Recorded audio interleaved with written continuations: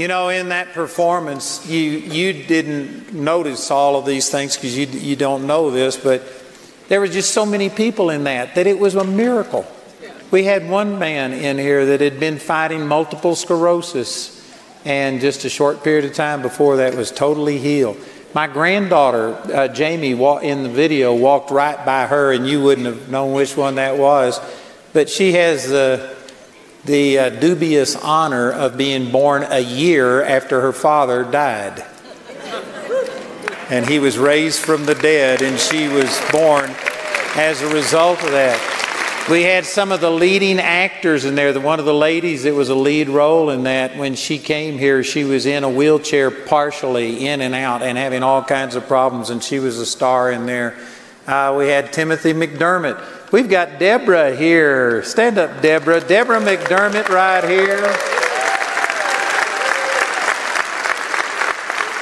And her two sons were healed of autism. She's South African, but she's married to an Englishman, and I saw them over in England and they were both healed. And Timothy went to school in England and then he came here for either two or three years, three years, and lived by himself here. Uh, a child that, but prior to that, had trouble getting out of the house and was just totally withdrawn. Autism, it was uh, Asperger's syndrome. And the younger brother, James, man, he was just at our meeting in England and uh, Christopher, the husband, was there. And I tell you, the whole family has just been transformed. If you haven't seen that video about the healing of Timothy and James McDermott, you can go to our website and see that. I also saw Julianne over here dancing someplace. Where's Julianne Hartman? She's here. Where are you, Julianne?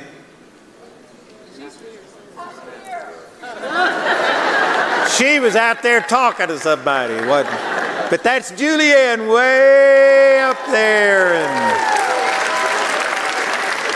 and Julianne had spent $300,000 on uh, doctors and was healed. And, and on and on we could go. If we got others, of course, uh, Ashley gave a little testimony about Hannah. Is there any of others of our uh, healing journeys that are here, people that are here?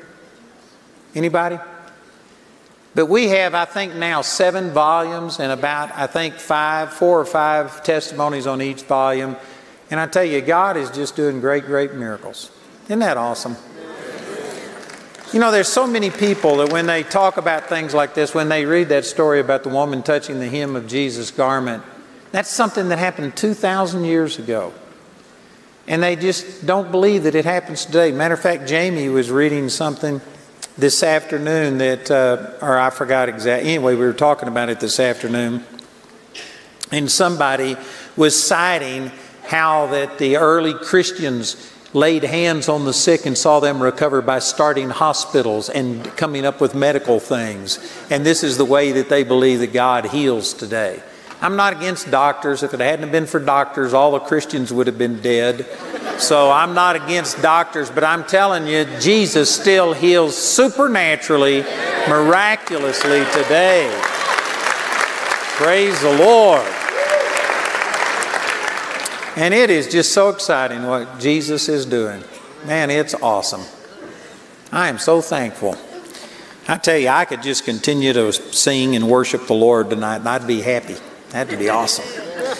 I want to share some things with you. If you were here this morning, I started talking about the power of imagination and how that relates to your healing. That if you can't see yourself healed on the inside, you won't see it on the outside. And this is a major problem with most people because they see themselves sick, they think sick, they talk sick, and then they pray for healing. It just doesn't work that way. As a man thinks in his heart, so is he. And I shared some scriptures. I was talking a lot about this Hebrew word, Y E T S E R, that is translated mind in Isaiah chapter 26, verse 3. The Lord will keep him in perfect peace, whose mind is stayed upon him. But that same word was translated imagine or imaginations uh, five times in the Old Testament. And I gave some of those references. And the actual definition of that Hebrew word means conception. Your imagination is your spiritual womb, and you have to conceive things. And as a man thinks in his heart, so is he. That's talking about as you see things, not as you pray and beg and plead. And many times people will say, Oh God, this is serious, and they'll tell God how bad it is, and they try and get God to move because of need. If the Lord moved because of need, things would be totally different than they are today. Some of the people who need the power of God the most uh, are the furthest from it. And God doesn't just move because your need is there. He moves through people who believe. Just like Ashley was giving testimony. That was such a great testimony about he didn't buy healing, but he needed to believe. And the scripture says in Luke chapter 16 that trusting God in the area of finances is the least use of your faith. If you can't do that which is least, you can't do that which is greatest. And there's people, there's probably people right here that you are desperate for a healing, but you, you're afraid to trust God in finances. You wouldn't dare give everything that's in your savings or that's in your checking account because you really do trust that. And yet you're believing for a healing. Did you know trusting God for finances is not near as important as healing? You can't buy healing. There's people that spend millions of dollars. There are billionaires that are dying because you can't buy healing. Healing is infinitely more important than finances. And if you can't do that which is least, if you can't trust Him in finances, then you can't trust Him in something greater. So there's people here praying for a breakthrough, and yet you've never trusted Him in that area of finances. You need to do that. You need to conceive a miracle. And when he took that step of faith and gave those finances, that's not buying anything from God, but it was, it was trusting God. It was believing God. And I tell you what, that releases the supernatural power of God. God is a good God that wants us all to prosper. His will for every one of us is prosperity. 3 John chapter 1 verse 2. Beloved, I wish above all things, above all things. That's above all things. In the Greek, that means all things. He wishes above all things that you might prosper and be in health, even as your soul prospers. God wants to prosper you. God wants it more than you want it, but we block it through our doubt, through our fear.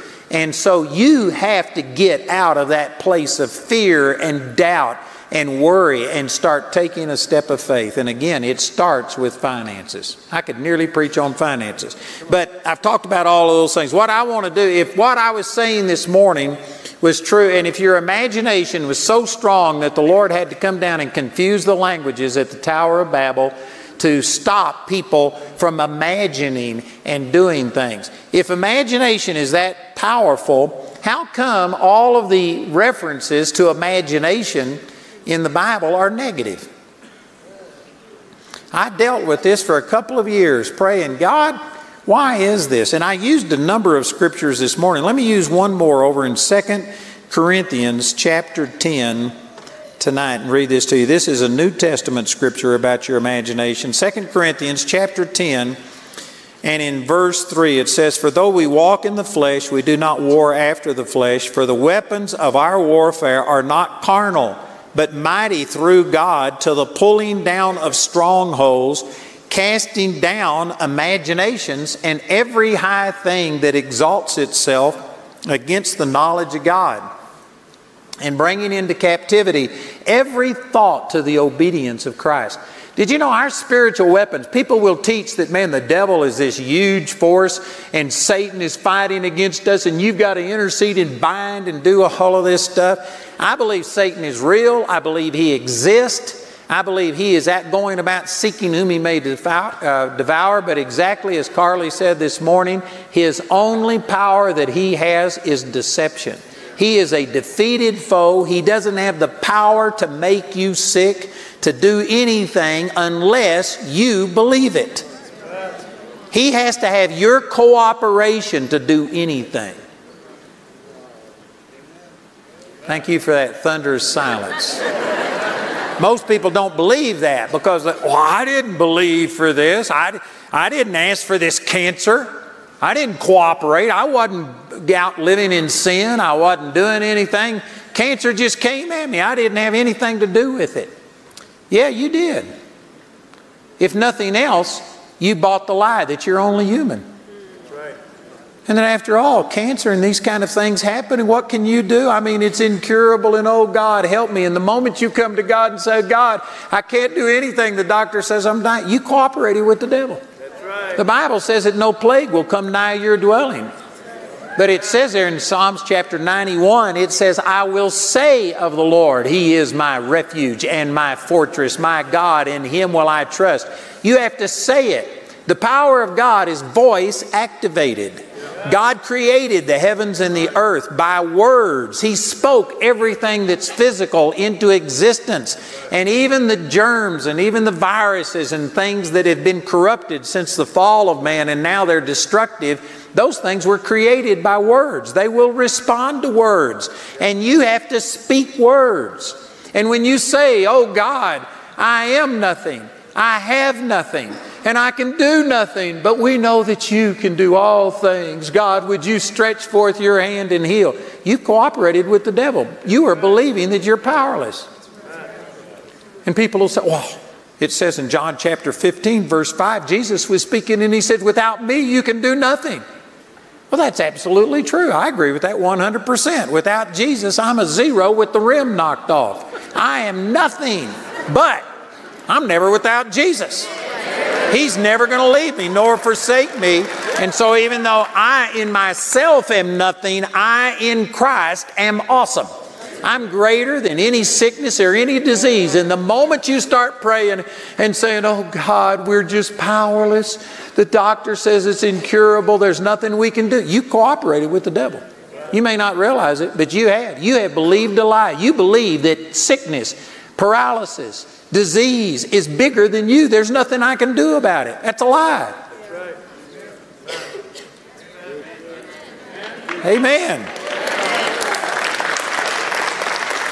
I know that there's many people, I don't have anything, I didn't have anything to do with this. I can guarantee you, Satan can't do anything to you without your consent and cooperation.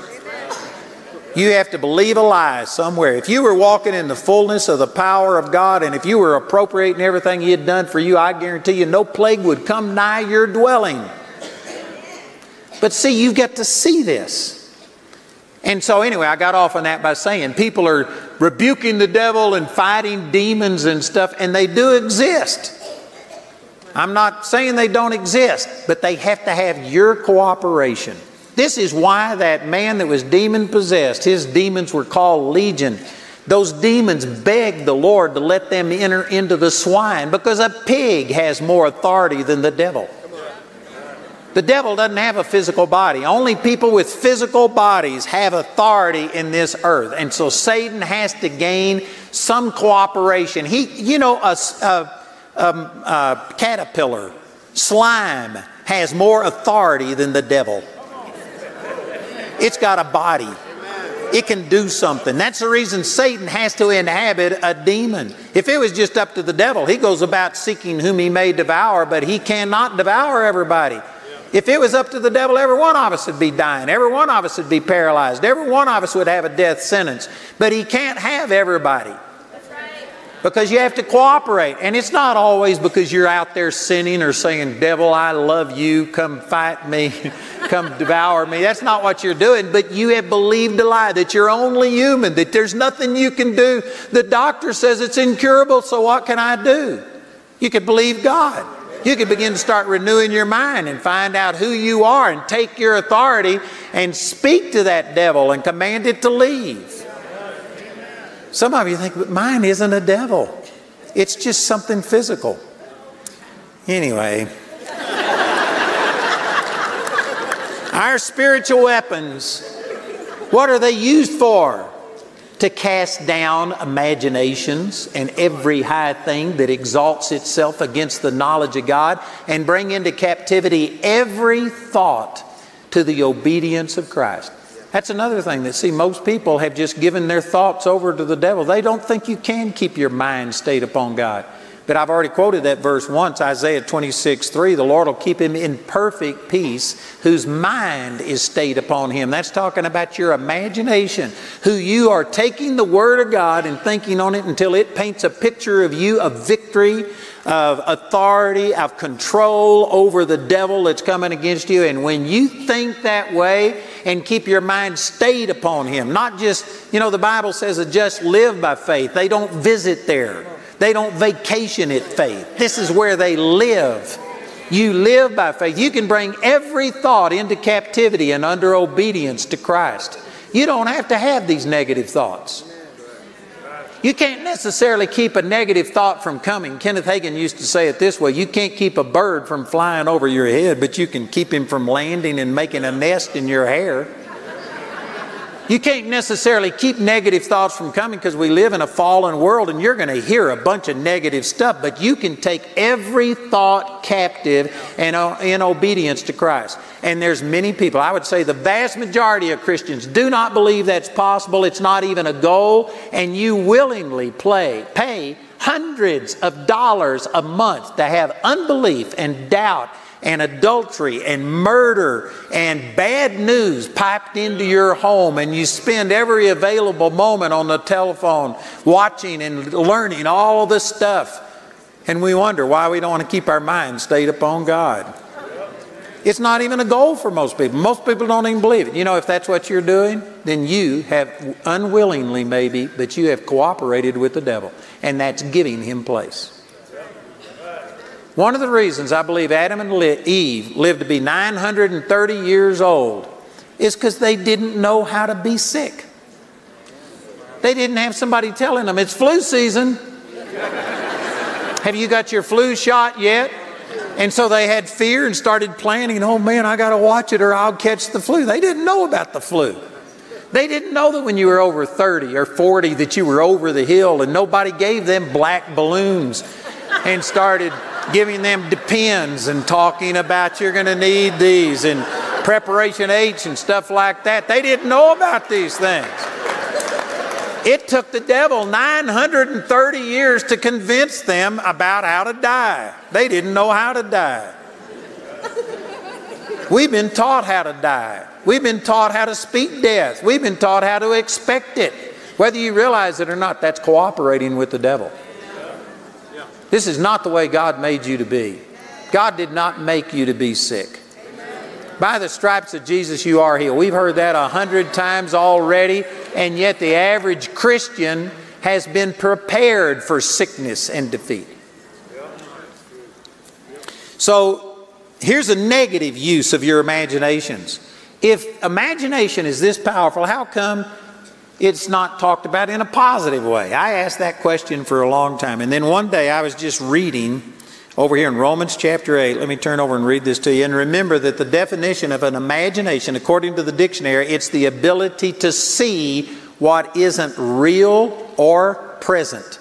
It's either something that's, that's real, but you can't see it, it's removed from you, or it's something that hasn't come into being yet, like these buildings. I saw these buildings before they were here, they were in my imagination. So that's the definition of imagination, according to the dictionary, is the ability to see something that's not real or present.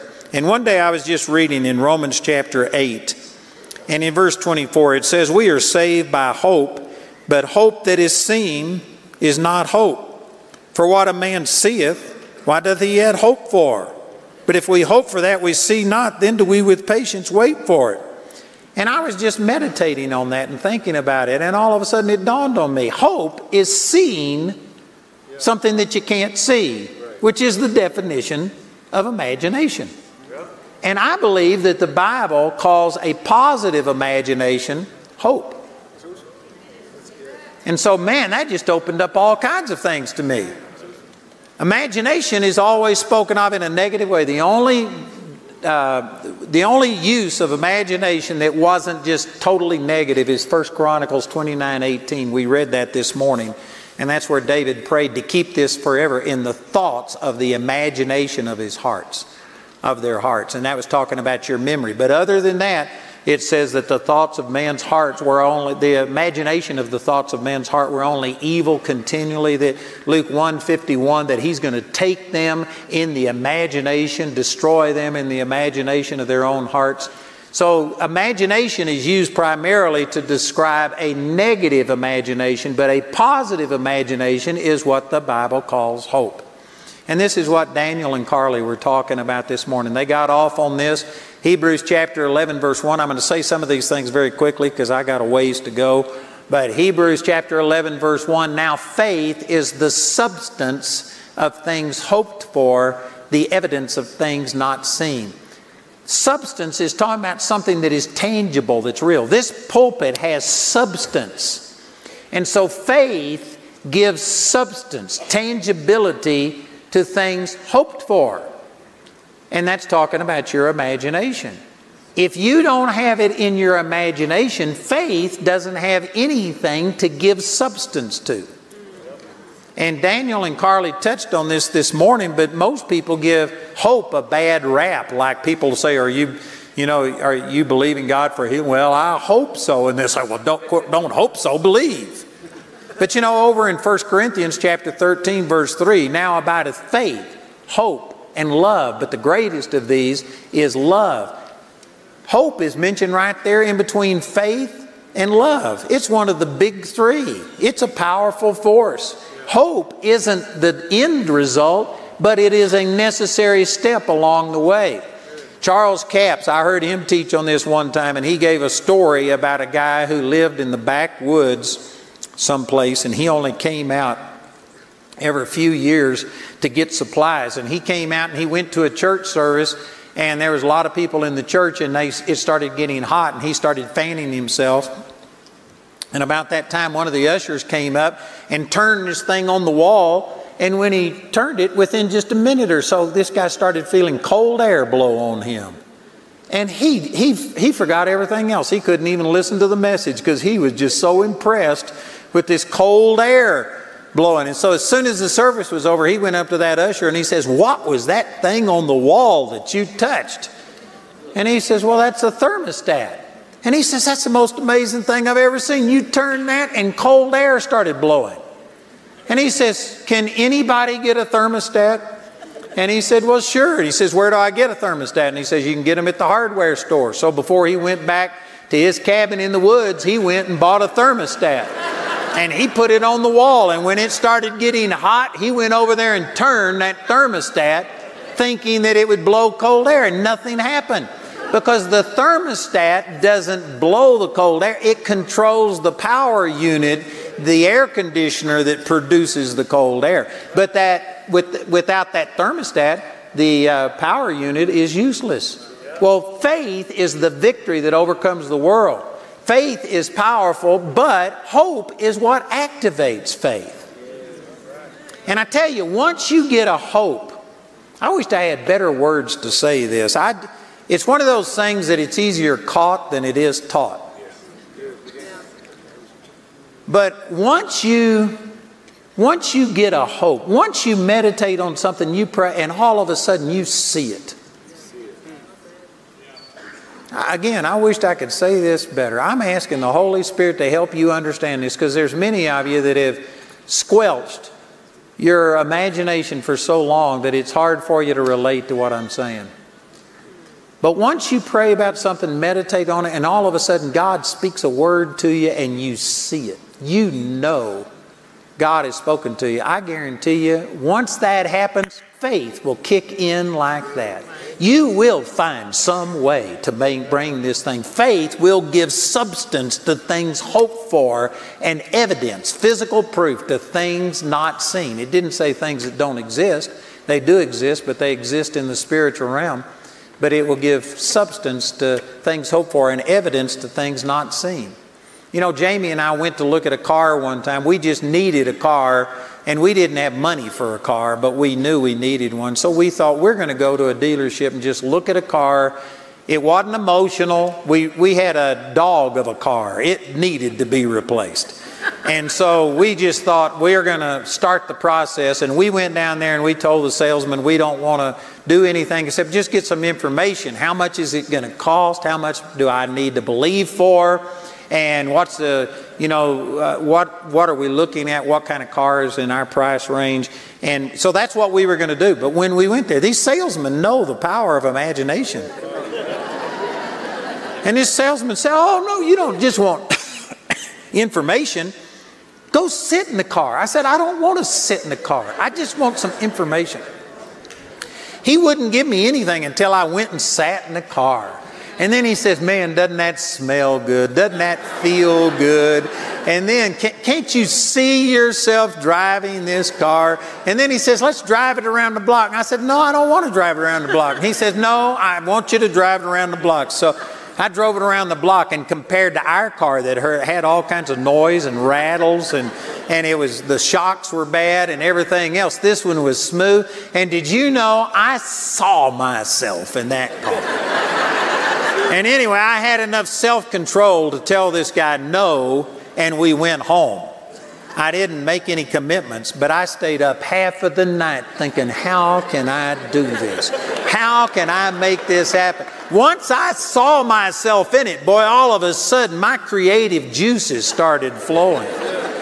And see, that's what happens when once you see something, once you can get it in your imagination, I guarantee you it's just a matter of time until you will see it and touch it. But the problem is, most people are praying for something that they've never conceived, that they don't see. You don't see yourself well. You don't see yourself the victor. You see yourself the victim. Don't look at me in that tone of voice. I pray with lots of people, thousands and thousands of people, and I would say that the majority of people come up and say something to the effect of, Could you please pay? And they get pitiful, hoping that that'll touch my emotions. Would you please pray for me? The doctor says I'm going to die, and I've got three children, and I've got this, and what. And they start, and what they, this is how they see themselves. I'm nothing. I have no power. I even had one man come to me uh, just a month or two ago, and he says, I know what you're saying, and I know that by the stripes of Jesus I was healed. I know what the Bible says. I believe what you're saying, but I just don't have any power. And you know, the first thing I said to him is Proverbs 18 21 Death and life are in the power of your tongue. You got power right here, but you're using it to kill yourself by saying you don't have power. You're hung by your tongue. You need to start speaking the word. But see, most people come in some form of, I'm desperate, I don't have any power, would you please do something? The moment you approach God like that or approach any of His messengers like that, you have just cooperated with the devil. You are seeing yourself as a loser. That's how you see yourself. And then you wonder why you lose. You wonder why you're still sick, why you still have these problems. You don't see yourself well. You don't talk well. You don't think well. Amen or oh me?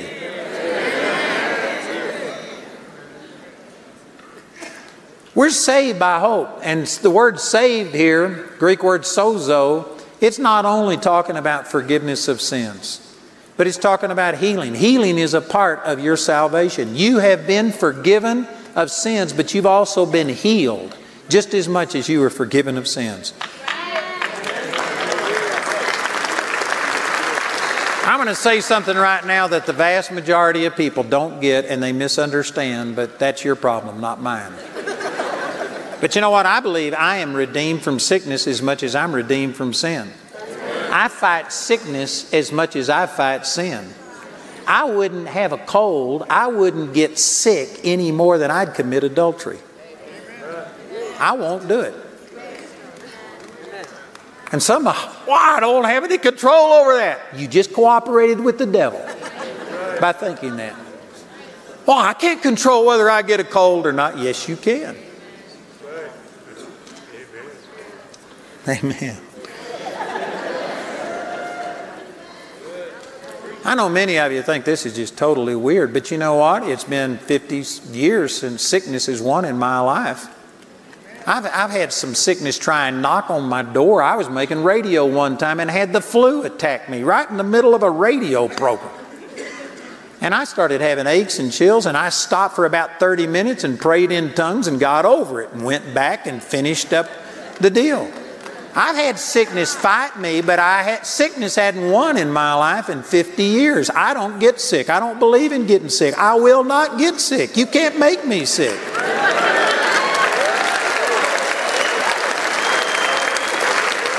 And many of you are saying, well, that's not true. You can't live that way. That's the reason you're sick.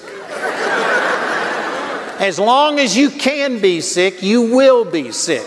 But when you get sick and tired of being sick and said, I will not do this because Jesus has purchased it and I've got authority and power, death and life are in the power of my tongue and I'm going to walk in healing.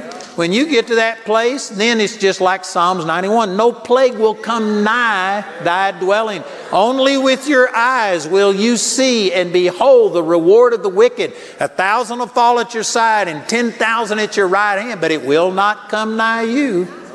That's the promises of God. But did you know all of those promises in Psalms chapter 91? It says, I will say of the Lord, He is my refuge and my fortress. It's voice activated. The power of God is voice activated. You got to start speaking this. You got to start saying that by His stripes I am healed. I refuse this sickness. You got to fight against it. Let's turn over to the scriptures that I think it was Daniel was using this this morning, or Carlie, anyways, one of the two or both of them. In uh, Romans chapter 4 and in verse 17, as it is written, I have made thee a father of many nations, before whom he, him whom he believed, even God, who quickeneth the dead and calleth those things which be not as though they are. Did you know that this is a quotation? from the Old Testament when it says that he calls things that be not as though they were. And what it's talking about is Abraham's name originally was Abram, which meant exalted or mighty father. And he says, I'm changing your name from Abram, from being an exalted father, to being Abraham, the father of many nations, because a father of many nations have I made you. Already done, past tense.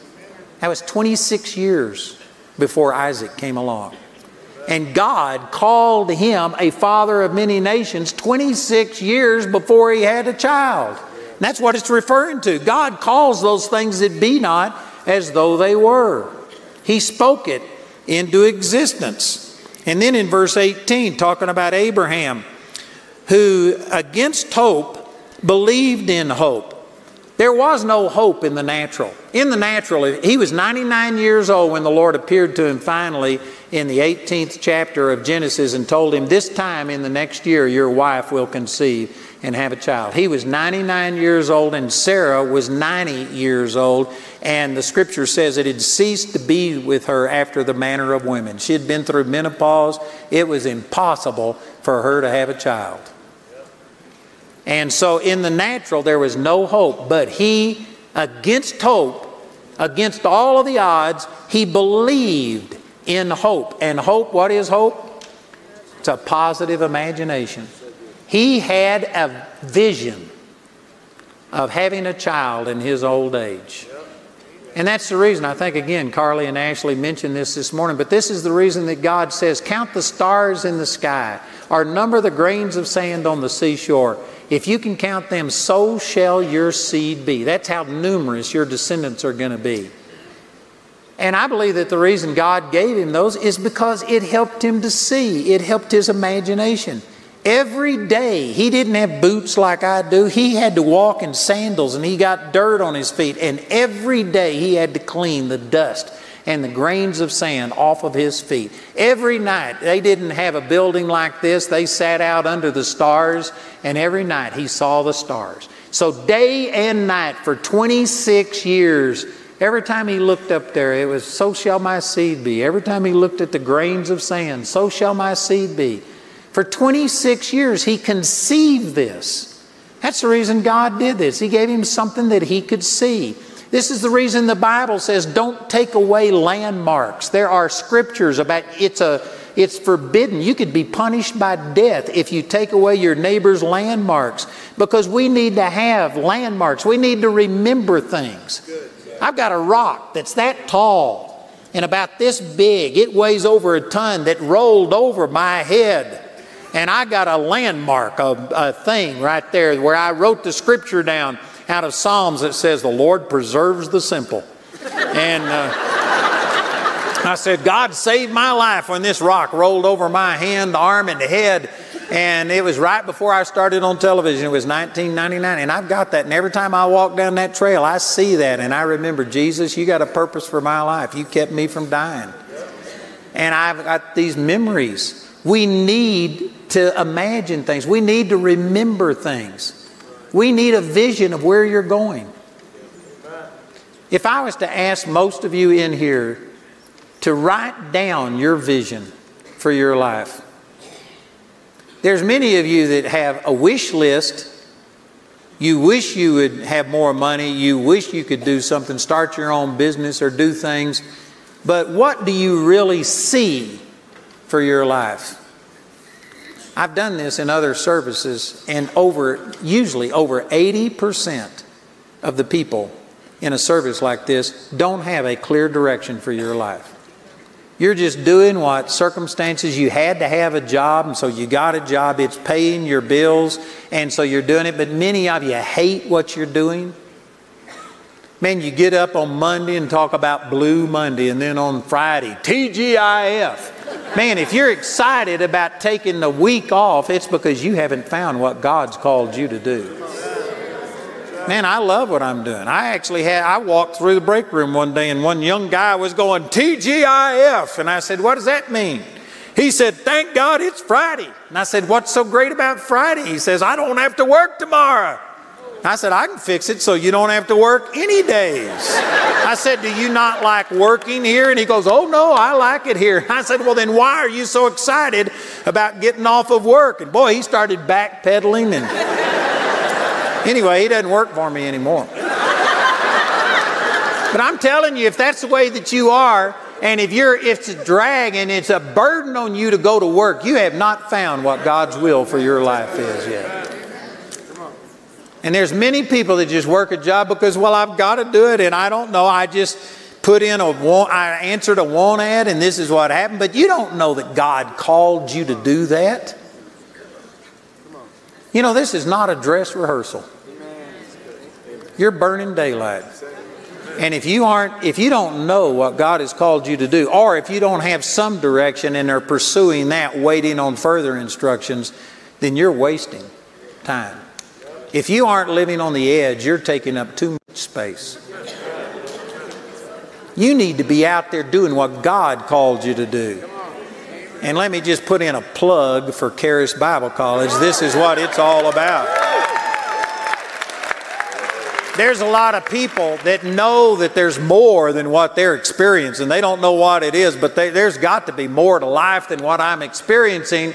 And they figure that God is the answer, and they figure it's in the Word, and so they come to Bible college. And I tell you, we have thousands and thousands of people that discover what God's will for their life is, and it takes on meaning and it just totally transforms your life. Man, if you don't know for sure what God called you to do, I'd recommend Charis. It'll, it'll change your life.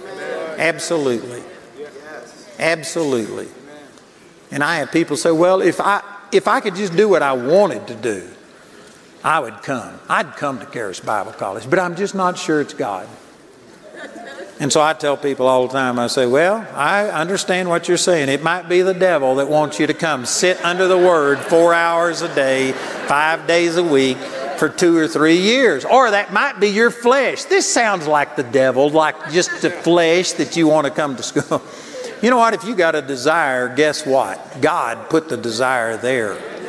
You need to satisfy it. We've got all kinds of ways. We've got an e-charis that you can take out there and get an iPad, and the whole first year is loaded on there. You don't even have to have an internet connection. And anyway, good things. So why did I get off on that? but it was good.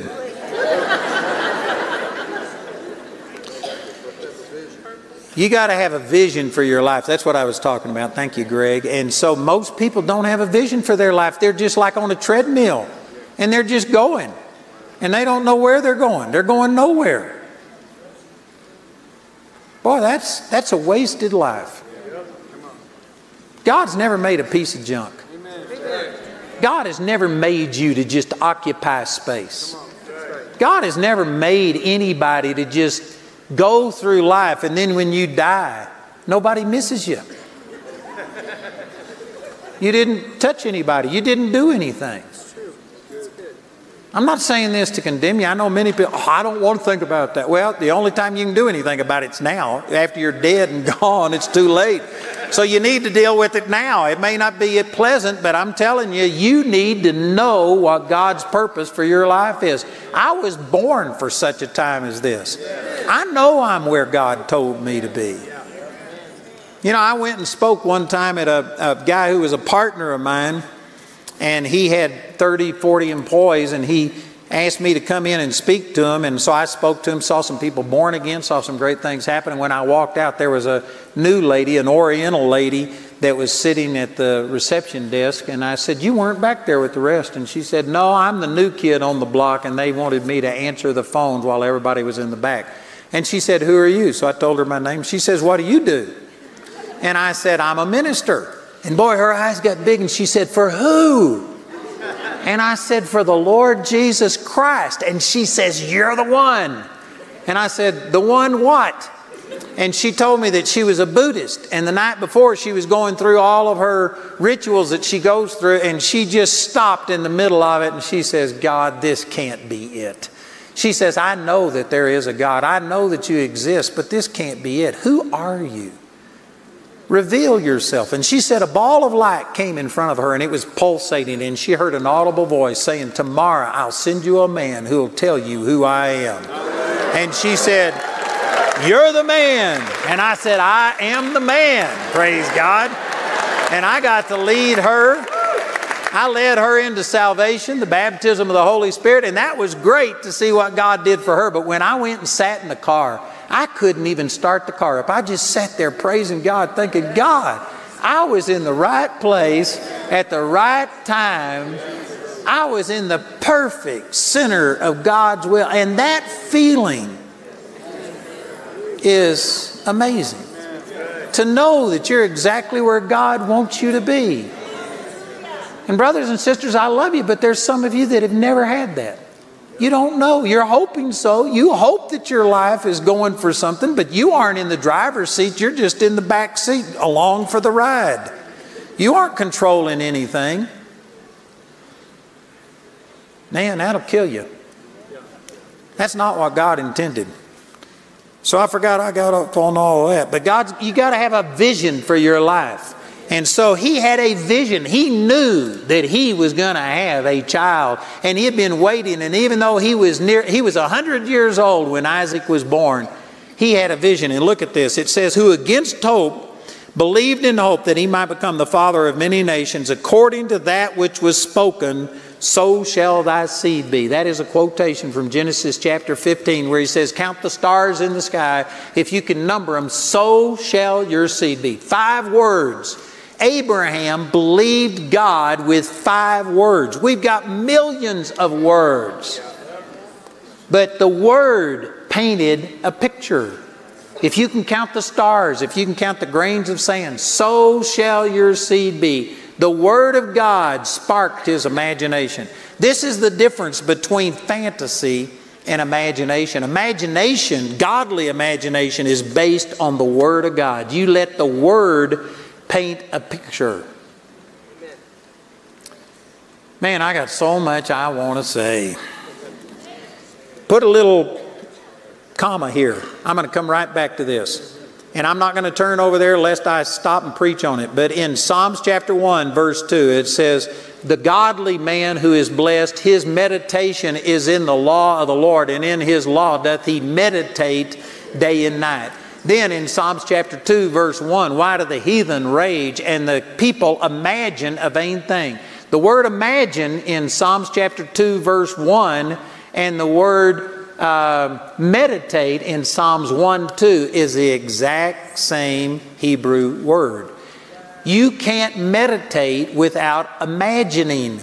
Meditation in the Word is when you read the Word, you take that information, but then you close the book and you wait until those words form a picture, until it affects your imagination.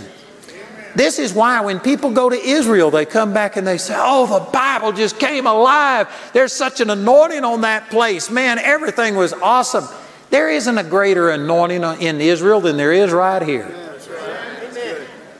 You know what happens in Israel?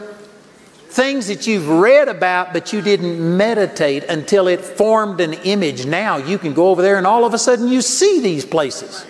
And it sparks your imagination. I took a tour to Israel, and when they went down to the valley of Elah where David fought Goliath, it was a hot day, and the bus parked on the side of the road, and there's nothing there. And for miles, it's just open. It's very similar to the way it was in David's time. And the tour guide said, This is where David fought Goliath right here. Does anybody want to get out? And it was a hot day, so nobody wanted to get out but me. And I got out and made them all wait. And I walked down to this dry to this dry riverbed or stream, and I got five smooth stones, and I stood there and held those stones and looked around on the mountains and thought about what would it be like to fight Goliath. You know what? I was seeing it.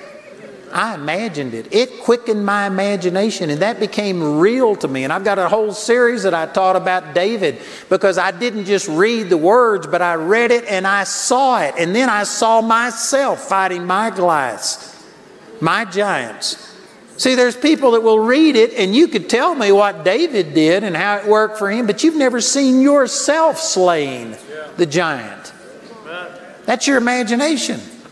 That's how you meditate in the Word. You have to you can't meditate what you haven't read, so yes, you have to read and you have to study and you have to put the information in, but then you need to sit there and see these things coming to pass. If the Bible says, Greater is he, than he that's in you than he that's in the world, have you ever seen yourself greater than the devil, greater than the problems that you're facing? Or do you see yourself overcoming? do you come up to somebody and, oh, I'm in such a bad shape, I'm going to die if the Lord doesn't? That's not seeing yourself greater than the problems that you're facing. Many people can quote the scripture, but they don't see it. You've got to see it. So Abraham saw it. And it says in the next verse, and be not weak in faith, he considered not his own body, now dead when he was about a hundred years old, neither yet the deadness of Sarah's womb. The word consider, if you look it up in the dictionary, it means to study, ponder, deliberate, examine, meditate, he never thought about his body being dead. Let me ask you if God told you, and if you wanted a child when you were 100 years old, Carlie was mentioning that this morning. I, that's not something I'm believing for, praise God. but if you wanted a child, if you'd been believing for it your whole life, and if God came to you and said, You're going to have a child this time next year, what would most of us do? We'd Google it. What's the oldest that any person's ever had a child? And we'd go check it out on the internet, and then we might, you know, go to the doctor and get checked out or have our wife checked out. You know, is it possible? Could she still have? And you accumulate all of this unbelief, and then you've got this mountain of unbelief that says, no, it's impossible, it can't happen. Then you go back and say, God, are you sure about that? And he said, yes. And then you say, it's so hard to believe. Why is it hard to believe? Because you considered all of the other stuff that says, no, it can't happen. Abraham never considered his own body now dead. He never even, he, I'm sure he had the knowledge that he was 100 years old and his wife had ceased to be with her after the manner of women. I'm sure that he had the facts, but that's not what he focused on. He wasn't considering it, he wasn't studying it, he wasn't pondering it, he wasn't examining it. But most of us, the first thing we do, if the doctor says you're going to die, man, we go research it and look it up and find out how long have I got to live? Uh, has anybody ever beat this? And you study all of these things and then wonder why it is that it's so hard to believe God.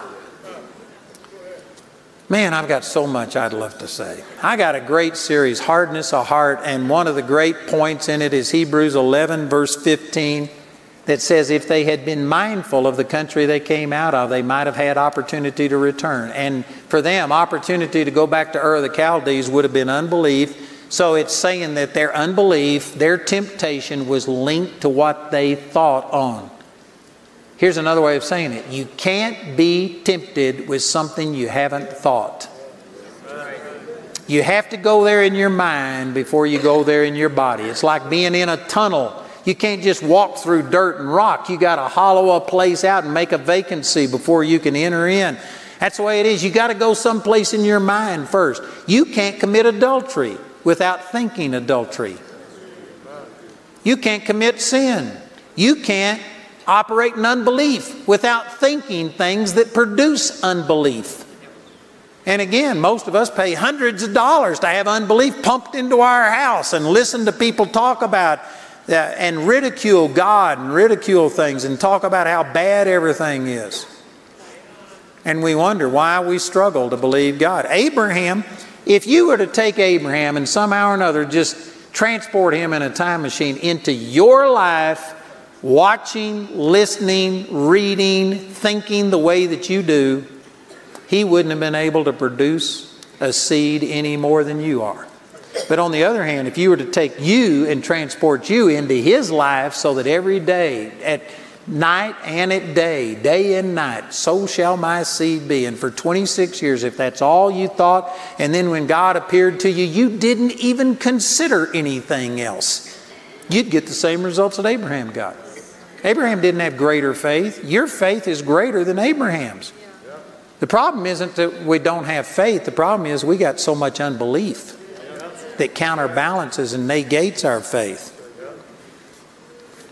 Man, I, I've got another two hours in that little passage right there, but let me turn over to Hebrews chapter 11 and, and wind this thing up. I know that the heart can't absorb more than the seat can endure.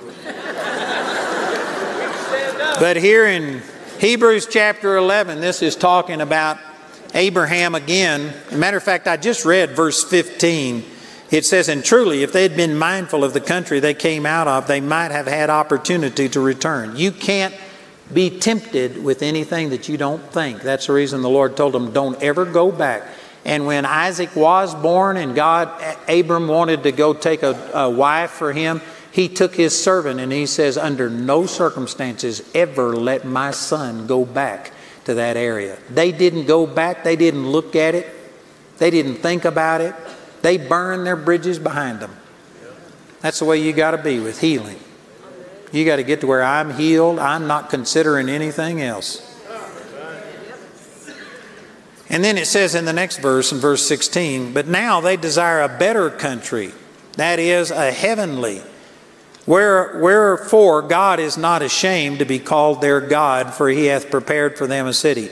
By faith, Abraham, when he was tried, offered up Isaac, and he that had received the promised seed, or the promises, offered up his only begotten son, of whom it was said that in Isaac shall thy seed be called. So, this is talking about Genesis 22 when God told Abraham to sacrifice his son as an offering and it says, that's what it's talking about. And look at what it says right here in verse 19. Here's what he was thinking accounting that God was able to raise him up even from the dead, from whence also he received him in a figure. The New Testament says that what we have is greater than what any Old Testament man had. It's so, so much greater that what they had has no glory compared to what we have.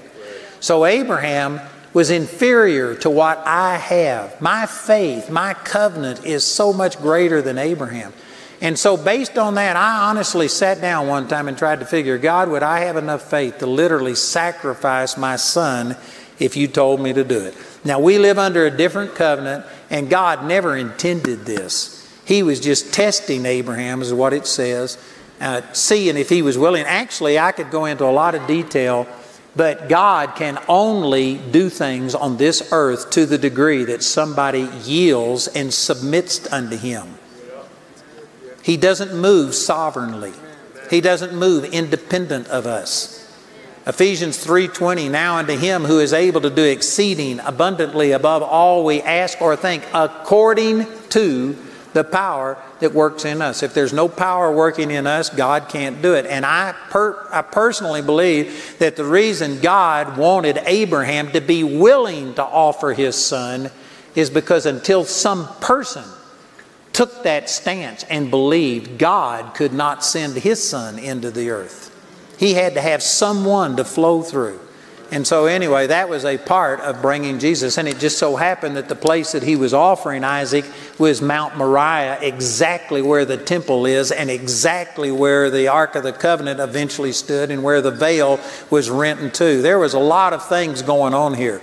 So, anyway, I was thinking, God, if what I've got's greater, could I sacrifice one of my sons? And you know what? I got to think, I got to imagining what it would be like to see the life drain out of your son and know that you were the one that killed him. And then I imagined when I went back home and Jamie said, Where's Joshua or Peter? And I said, Oh, I killed him. I was imagining all of this stuff. And I tried my best to say, Father, I'm believing. And I just had to say, Father, I couldn't, I can't imagine myself doing it. And then I saw this verse. You know why Abraham was able to do it? Because he never saw his son dead. It says he was accounting that God was going to raise him up, even from the dead if he had to. He never saw Isaac dead because Isaac was the promised seed that would be produce children as numerous as the stars in the sky. And he wasn't married at this time. He hadn't produced a child. And so he had to live. Abraham was so focused on God, he had this vision so strong in front of him that if his son would have died, he figured God had raised him from the dead. He never saw his son dead. You know why you are struggling with things? Because you've seen yourself sick. You've accepted that diagnosis. You've seen other people who suffered with it. You've got that image of this is what's happening to me, and you're conformed to it in your inside. And as a man thinks on the inside, so is he. I'm not saying this to condemn anybody. The Bible says we perish for a lack of knowledge. We're destroyed for a lack of knowledge. And most people don't know the things we're talking about. And so, out of innocence, we've adopted the way the world thinks. But I'm telling you, you do not have to live that way. You can take the Word of God and you can paint a picture on the inside of you of, of you being well and you having authority and power and you resisting the devil and he'll flee from you and you will have what you say. And you can take all of these scriptures and you can meditate on them until those things come alive and you can become so pregnant with your healing that you just can't help but be healed. You know, when a woman gets pregnant, she's pregnant before she knows it. It takes a while for a woman to recognize she's pregnant. But then she recognizes some changes taking place, and so she knows she's pregnant before anybody else knows she's pregnant. But then after a while, everybody knows she's pregnant. It's beginning to show. And then eventually you deliver that child, and people say, well, man, that was a quick delivery. It only took two hours, or, you know, something like that. But no, it took nine months and two hours. And it was a process. And I'm telling you, if you'll get into the Word and start doing the things we are talking about, meditating in it, taking all of these truths, you'll get pregnant before you even realize it. You'll think, well, nothing's changed. I don't feel any different.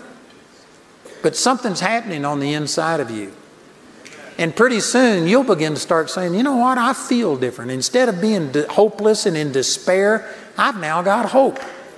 I'm beginning to see this. And you will see it, and nobody else will see it. But you keep meditating on it, after a while, it'll become so real, people will say, When are you going to deliver? Man, you're like you're ready to pop. And I guarantee you, you can get to a place where everybody can see that, man, you're believing God, and they, they get faith because they see that you've got faith. But it's a process. And I'm telling you, it'll work for any person. Every one of you have this potential. The only thing that can stop this is if you aren't truly born again. Now, this will work to a degree if you aren't born again, but when you get born again, you become a brand new person in Christ. And God Himself moves on the inside of you. And then the baptism of the Holy Spirit is when you receive this power. When you have the baptism of the Holy Spirit and the ability to pray in tongues, I tell you what, that moves you to a different level. So the only restrictions I'd put on this is you need to be born again. You need to have made Jesus your Lord, not just know about God, not just believe that He exists. It says in James chapter 2, verse 19, you believe that there's one God, you do well. The devils also believe and tremble. But won't you know, O vain man, that faith without works is dead? You've got to do more than just believe that He exists. You've got to yield your life to Him. You've got to commit your life to Him. And there's a lot of people that know about God, but they don't know God personally. When, when you experience God, you get changed on the inside. And you have God Himself move on the inside. True salvation is not just an acknowledgement of something, but it's an experience. You acknowledge that Jesus is your Lord, you commit your life to Him, but then you experience it and you become a brand new creature that never existed before. And if that hasn't happened to you, that needs to happen. And then once you get born again, Jesus told his disciples, don't go anywhere, don't tell anybody. The greatest news in the world that Jesus rose from the dead and that he was the Messiah. Don't tell anybody until you receive power from on high. And when they received power, these men who had denied the Lord and ran in fear, all of a sudden they stood boldly before the very people who had crucified Jesus. And they said, You judge yourself which who we ought to obey, whether you or God. And man, they took knowledge of them that they had been with Jesus. And it was just a few days later. What was the difference? The baptism of the Holy Spirit.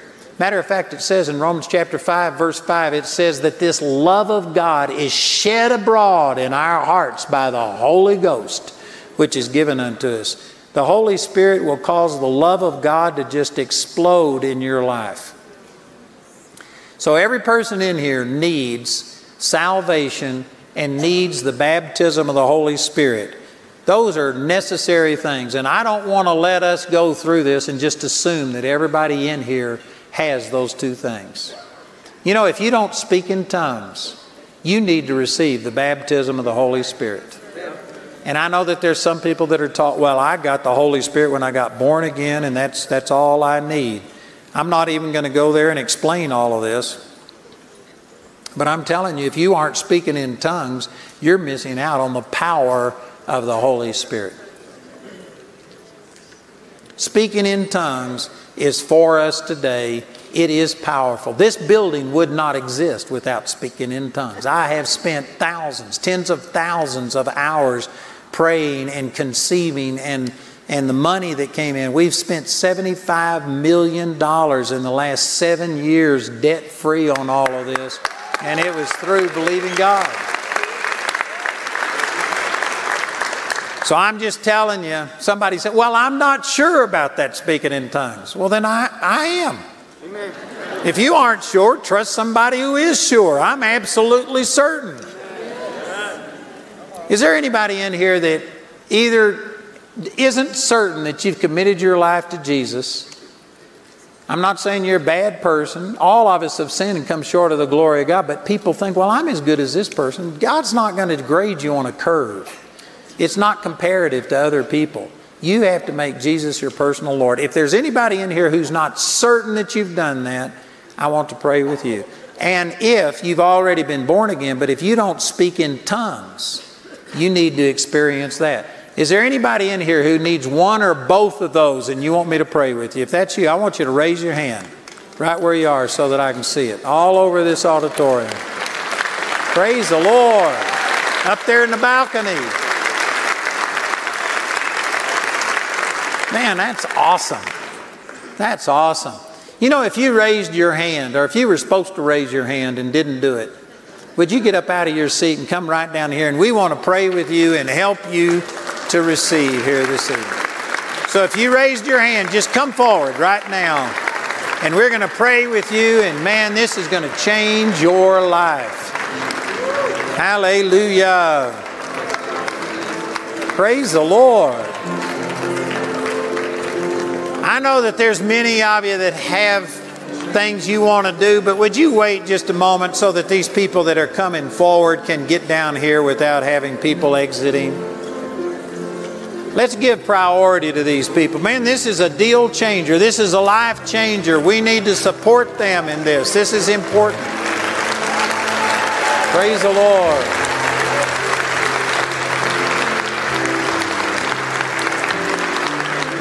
Hallelujah. Man, I don't know how you've made it this long without the baptism of the Holy Spirit, speaking in tongues, and Jesus being Lord. I tell you what, I just don't know how people that don't know how to pray in tongues and have the Holy Spirit speak supernatural things to you, I don't know how you survive. And I'm sure some of you have had a rough time. This is going to change your life. This will totally, totally, totally transform your life. My life changed more through receiving the baptism of the Holy Spirit and speaking in tongues than it did through getting born again. Now, being born again is essential and it's the first step. I'm not minimizing that, but I'm talking about that was inward. When I received the baptism of the Holy Spirit, it changed me outwardly. This just transformed my life. Praise God. Boy, this is awesome. Praise God. You, Jesus. All right, before I can pray with you to receive the baptism of the Holy Spirit and speak in tongues, the Bible says that Jesus is the one who gives the Holy Spirit. So you have to receive the giver before you receive his gift. You have to make sure that Jesus is your personal Savior. And like I said during that invitation part, there's a lot of people who say, Well, I believe in Jesus. Isn't that enough? The devils believe. You got to do more than just believe that He exists. You have to make Him your personal Lord.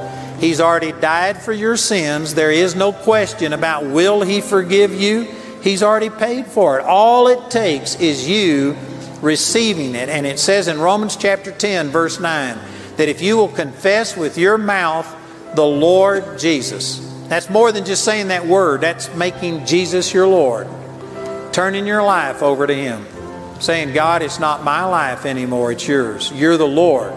Now, that's not a promise that you'll never sin or you'll never make a mistake because you can't live up to that. We all fall short of what we should be, but you have to be willing to make Him the Lord of your life. And it says, if you will confess Him as Lord and believe in your heart that God raised Him from the dead, you shall be saved. For with the heart man believes, and with the mouth confession is made. Is there anybody here who's not certain that you've done that because you won't be able to receive the Holy Spirit until you receive Jesus who gives the Holy Spirit? So if you aren't sure, here's another way of saying this. If you were to die right this moment, do you know where you would go? Some people say, well, I hope so. No, the Bible says that you have a witness in yourself and you know that you've passed from death unto life. If you're just hoping that God will accept you, that's not good enough. You got to make him Lord, and then you will have a witness in yourself. Is there anybody here who's not absolutely certain that you've done that, that you've made Jesus your Lord? If that's you, I want you to raise your hand. Here's a lady right here. Anybody else? Here's a number of people. If that's you, raise your hand so I can see it. Here's another one. Here's one over here. Other people. Here's some back here. Praise the Lord. Number of people here. Thank you, Jesus. Well, like I said, Jesus has already made the price. All you've got to do is receive. You don't have to say, God, will you forgive me my sins? He's already paid for them. Will you accept it? Will you make him Lord? So, what I'm going to do, I'm going to lead you in a quick prayer, and I'm going to ask everybody in here to pray this with me so that you won't feel like people are just listening to you. And I'm going to pray a prayer based on that scripture that I wrote, read you and uh, it says, if you will confess Jesus as your Lord, you shall be saved. So if you will pray this prayer with me out loud and mean it from your heart, it's not magic, you have to believe it. But if you will believe this, you're going to become uh, instantly changed. Your insides are going to completely change. You're going to become a brand new person. Isn't that awesome? Man, that is the best deal you will ever get. So let's everybody say this. Say, Father, I'm sorry for my sin. I believe Jesus has already paid for my sins. And I receive that forgiveness. Jesus, I make you my Lord. I believe that you are alive. That you now live in me. I am forgiven. I am saved. In Jesus' name. Amen. You believe that? Do you believe that? Amen. Amen. You know, if you prayed that, and if you believe it, then according to the Bible, the Bible says, Whosoever call on the name of the Lord shall be saved. So if you believed it, you just now became a brand new person. You know, on the outside, you're still the same. If you were a woman, you're still a woman. If you were a man, you're still a man. And in your mind, you're still the same. You still got your thoughts, not my thoughts. You have to renew your mind. But there's a third part, that's the spirit. And in the spirit, you became a brand new person. And the dead part of you, the part that was driving you towards sin, the part that was by nature a child of the devil is gone. And you now have God Himself, His seed on the inside of you. Man, that's awesome. And the Bible says, for all the rest of you, now everybody up here has prayed some prayer like that. The Bible says that you are now the temple of the Holy Spirit. That's significant because that means God created you to be a dwelling place for His Holy Spirit. So, this is what you were created for. God would not refuse a single one of you this baptism of the Holy Spirit. You were made for this. Some people think, but I'm not holy. I'm not living holy. I've got problems in my life. If you could get holy without the Holy Spirit, you wouldn't need the Holy Spirit. If you got sin in your life, you're the very one God is wanting to fill with the Holy Spirit to start giving you power so that you can overcome this. So don't let any sense of unworthiness or something stop you. The Bible says in Luke 11 13, it says, If you being evil know how to give good gifts unto your children, how much more will the Heavenly Father give the Holy Spirit to those who ask? All you got to do is just ask and receive. So I'm going to lead you in a simple prayer and we're just going to open up the doors of our temple and welcome the Holy Spirit to come in and say, Holy Spirit, we want your power in our life. And then we're going to start speaking in tongues because the Bible in the Bible when people receive the Holy Spirit they spoke in tongues. And here's my last instruction before we pray. There's a lot of people that when it comes to speaking in tongues, they just open up their mouth and wait on God to make them talk. That's not how it works. It's very similar to how I taught tonight. I believe that God spoke through me. But if I would have said, Oh God, don't let it be me, let this be pure Holy Spirit, and I just opened up my mouth and waited on God to make me talk, you still wouldn't have heard a word. He didn't force me to say a thing I said. I spoke. It was me talking. But I believe it was under the inspiration of the Holy Spirit. That's what the Bible says. They spoke with tongues as the Spirit gave them the utterance or the inspiration. You have to speak just like I had to start speaking. That's the reason it came out in Texan. It came out with my sense of humor. It was me talking, but I believe it was inspired of God. Speaking in tongues is like that. He doesn't force you. The Holy Spirit doesn't speak in tongues. He inspires you, and you have to start speaking. So we're going to pray a simple prayer. We're going to open up our heart, welcome the Holy Spirit to come, and then after we pray, I want you at that time to start thanking God that He gave you the Holy Spirit because He promised that He would. Take a step of faith, start thanking Him, and then all of us who already have the baptism of the Holy Spirit, we're going to pray in tongues because the Bible says that when you pray in tongues, you're giving thanks. So we're going to thank God for giving you the Holy Spirit. And as we start praying in tongues, I want you to start praying in tongues with us. Amen. And don't wait on the Holy Spirit to force you to do it. Start speaking something by faith. And it may sound weird at first, but anyway, I've got a book I'm going to give all of you. It'll explain the whole thing. Amen. Y'all ready? The Bible says believers will speak with new tongues. I want you to say, I'm a believer and I will speak in tongues. Father, thank you for all of these. Thank you for these tonight that made Jesus their Lord. We believe that according to the Word, now they are a brand new creature. Old things have passed away, all things have become new. And we believe that in our spirit, we are the temple of the Holy Spirit. So, Father, we open up the doors of our temple. And Holy Spirit, we ask you to come fill us. You said you would give the Holy Spirit to those who ask. So we're asking right now for this infilling of the Holy Spirit and this gift of speaking in tongues. We ask and we believe that we receive right now in the name of Jesus. Now, I want you, just like when somebody sticks a gun in your back and you put your hands up, say, I surrender. This, this is, raise your hands. The Bible says when you lift up your hands in the sanctuary, you bless the Lord. So now start thanking Him that He gave you the Holy Spirit. Just out, of, out loud. Talk out loud. Thank you, Father, for giving me the Holy Spirit because you promised that you would. Thank you that I am God possessed that I have the power of the Holy Spirit living in me now in Jesus' name. And those of you who speak in tongues, let's start worshiping the Lord and giving thanks. And as we pray in tongues, you join in with us. Quit thanking Him in English and go to thanking Him in tongues. Thank you, Jesus.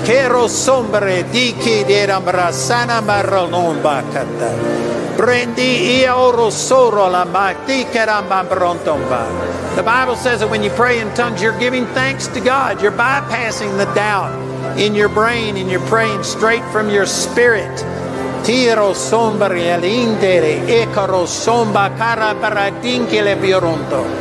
Resine mariatana macabro toro sore di bi iraramba cara la rombocoroto. You got to open your mouth to pray in tongues. You can't pray in tongues with your mouth closed. Dera sotanini ina macabro soro barata. Dena non colorom reascide biliato ca arsonda icala pronto. Bambarelarambo coro simerama. The Bible says that you are edifying yourself. You're building yourself up on your most holy faith, praying in tongues. Man, God's de- delivering people. There's people being delivered and set free right now. Healing will come as you speak in tongues. If you need a healing in your body, just speak out. You're, you're releasing the Holy Spirit without the limitations of your mind. You're praying from your spirit. Thank you, Jesus.